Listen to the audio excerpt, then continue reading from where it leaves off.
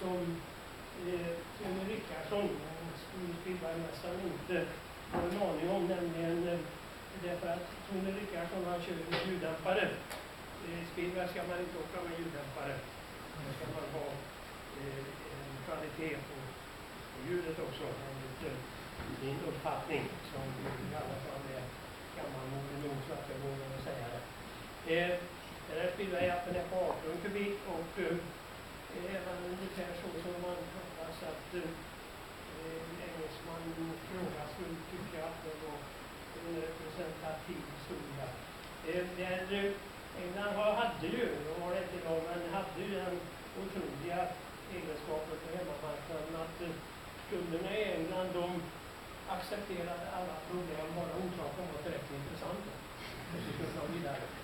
Det där var väl inte så lyckat utvecklingsmässigt men det var väl kanske lite av det som man drabbade i och med Västervik och den här jaktmotorn. Den också